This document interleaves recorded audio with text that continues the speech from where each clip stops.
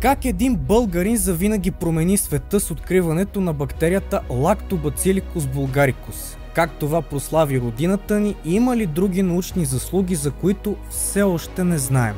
Киселото мляко безспорно е културната визитка на България в целия свят. Макар да присъства ежедневно на трапезата ни, рядко се замисляме за дълголетната му история и любопитните събития, които съпъсват производството му назад във вековете. Но кой, как и кога открива тайната съставка, която прави киселото ни мляко в истински кулинарен феномен? Останете с нас до край, за да научим заедно как точно откриваме магическата съставка, която ни държи бодри и свежи, а цял свят използва за лечебни цели и до днес. Добре дошли в Буквар!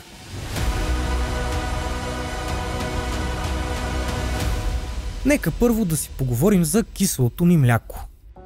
Историята мълчи кога и кой точно открива, че може да произвеждаме българското ни кисело мляко, още по-малко пък и какво го прави такова.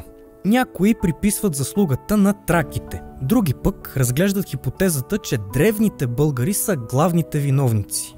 Според легендите, потомците на Кобрат и Аспарух съхранявали животински продукти в кожени мехове, натоварени на коне.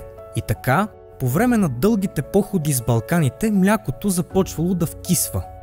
Също така, мехчетата са се друсали по време на галопирането на конете, та по случайност онези древни българи откриват първите особености на млякото по нашите земи.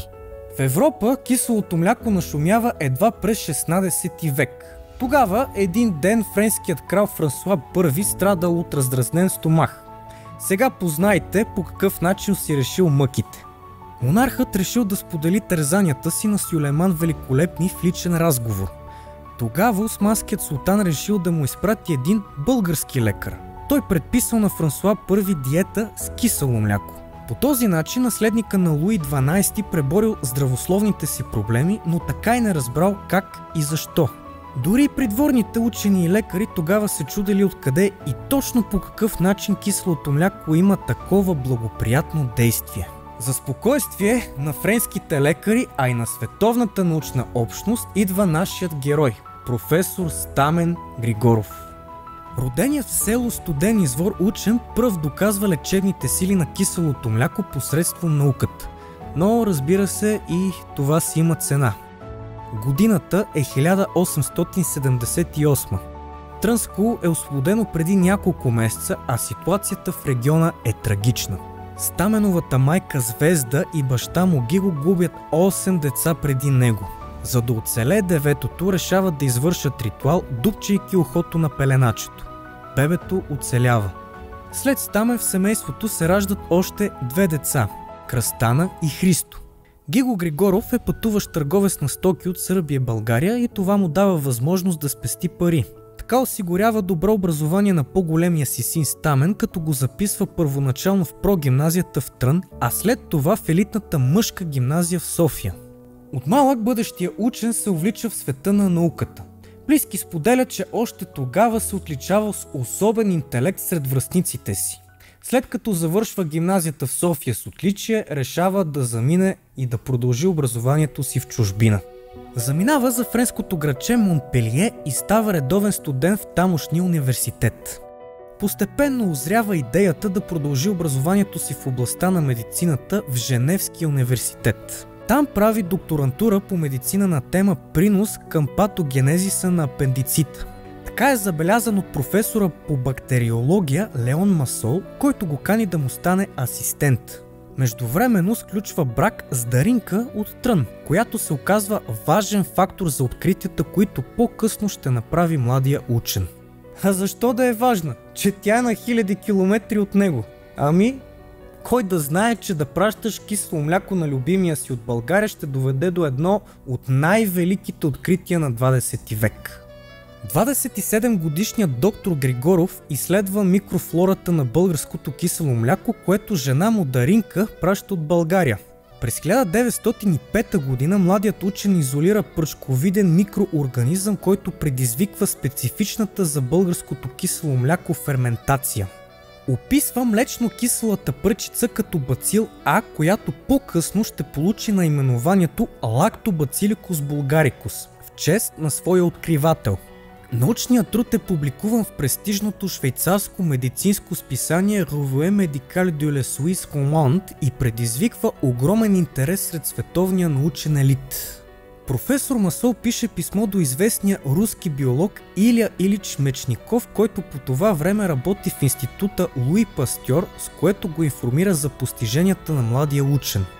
Скъпи приятелю, моят асистент Стамен Григоров от България ме изненада с голямата си упоритост в научно-изследователската си работа. Това е един рядък човек и струва ми се, че на теб именно, именно на теб, той би могъл да бъде много полезен. След многобройни изследователски опити в моята лаборатория, той успя да открие и изолира причинителя на българското кисело мляко. При това подкваската му е донесена направо от България. Ти работиш, вдъхновяван от стремежа да намериш средство, с което да се продължи човешкият живот. След твоите забележителни фагоцити, помисли за българското кисело мляко и този пръчковиден бацил, който откри Григоров – и аз лично видях под микроскопа. Може би той ще ти бъде полезен. По това време Мечников работи във Франция върху теорията си за старенето, свързана с чревната флора. Откритието на Григоров е потвърдено и нашенецът е поканен да докладва резултатите си в Париж. Теорията на Млечников за благоприятния ефект на млечно-киселите храни върху човешкото здраве е подкрепена от откритието на Григоров. Така, киселото мляко става популярно в цял свят. Въпреки многото предложения за работа в чужбина, Стамен Григоров се връща в България в края на 1905 година. Започва работа като околийски лекар и управител на болницата в Трън. Въпреки огромния обем работа, той не изоставя изследователската си дейност и прави второто си голямо откритие – противотуберкулозната вакцина – през 1906 година той публикува резултатите си в La Presse Medical, доказвайки, че ваксината му е както предпазна, така и лечебна. По време на Балканските и Първата световна войни доктор Григоров работи като военен лекар.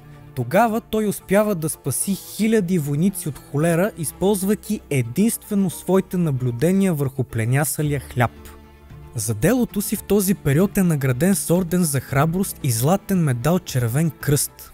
След войните продължава да работи върху лечението на туберкулоза. Започва да използва създадените от него ваксини в санаториумите в Искрец и Трявна и в онкоклиниката на Александровска болница. През 1935 г. заминава за Италия, където продължава изследванията си върху туберкулозата. Завръща се в България през 1944 година, а работата в Италия продължена от сина му доктор Александър Григоров.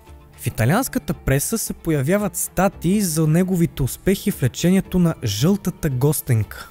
На 27 октомври 1945 година доктор Григоров почива на своя рожден ден. Два дни по-късно, на 29 октомври, в вечерната си емисия Радио София съобщава новината, научавайки я от Радио Милано. Цяла Европа говори за загубата на великия учен и изследовател. Роднините му смятат, че той е изпитал върху себе си ваксината за туберкулоза, над която работи упорито дълго време. Говори се, че именно тя е довела до смъртта му на 67 годишна възраст. Днес центъра на родното му село Студен извор в реставрирана къща се помещава единствения в света музей на киселото мляко. Близо до него е и родният дом на учения.